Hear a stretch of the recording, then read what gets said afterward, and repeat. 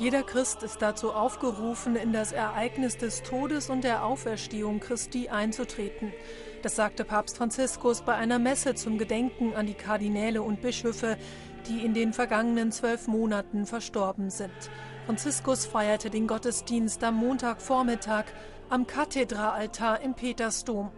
Die ganze göttliche Offenbarung ist Frucht des Dialoges zwischen Gott und seinem Volk und auch der Glaube an die Auferstehung ist an diesen Dialog gebunden, der den Weg des Volkes Gottes in der Geschichte begleitet, so Papst Franziskus.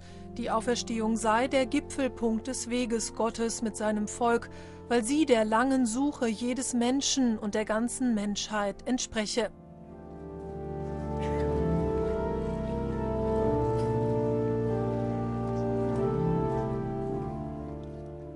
Für Radio Vatikan Anne Preckel